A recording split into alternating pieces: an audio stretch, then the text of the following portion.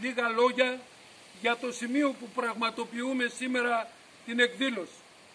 Στις 8 Μάρτη του 1944 η ανώτερη διοίκηση των Γερμανών σε αντίπεινα για την ανατείναξη της γερμανικής αμαξοστοιχίας νούμερο 53 στα Τέμπη με 450 Γερμανούς στρατιώτες από τους αντάρτες του τάγματος μηχανικού του Ολύμπου του Ελλάς με διοικητή τον συμπατριώτη μας Βρατσάνο Αντώνη Αγγελούλη διέταξε την εκτέλεση 40 αγωνιστών πατριωτών από τη Λάρισα και τα περίχωρα από το στρατόπεδο κρατουμένων που λειτουργούσε σε αυτόν εδώ το χώρο με το όνομα αντιαεροπορικό.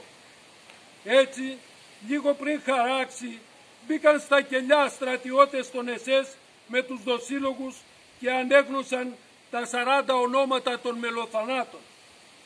Όταν τους φόρτωναν στα καμιόνια και κατάλαβαν ότι πάνε για εκτέλεση, άρχισαν να φωνάζουν «Για χαρά παιδιά, πάμε για την Ελλάδα», για να καταλάβουν οι άλλοι συγκρατούμενοι τους ότι πάνε για εκτέλεση. Στους εκτελεσμένους ξεχώρισαν πέντε γυναίκες, μεταξύ αυτών η ηρωική επονίτησα Δήμητρα Τσάτσου, κομμότρια από τη Λάρισα, που η υπέροχη στάση της παρά τα μεσαιωνικά βασανιστήρια που υποβλήθηκε για να καταδώσει τους συντρόφους της, κατέπληξε τους πάντες. Ακόμα πριν πεθάνει, πρόλαβε να φωνάξει «Χιτλερικά γουρούνια και ένας Έλληνας να μείνει, η Ελλάδα δεν θα σβήσει. Θα παλέψει για αυτή.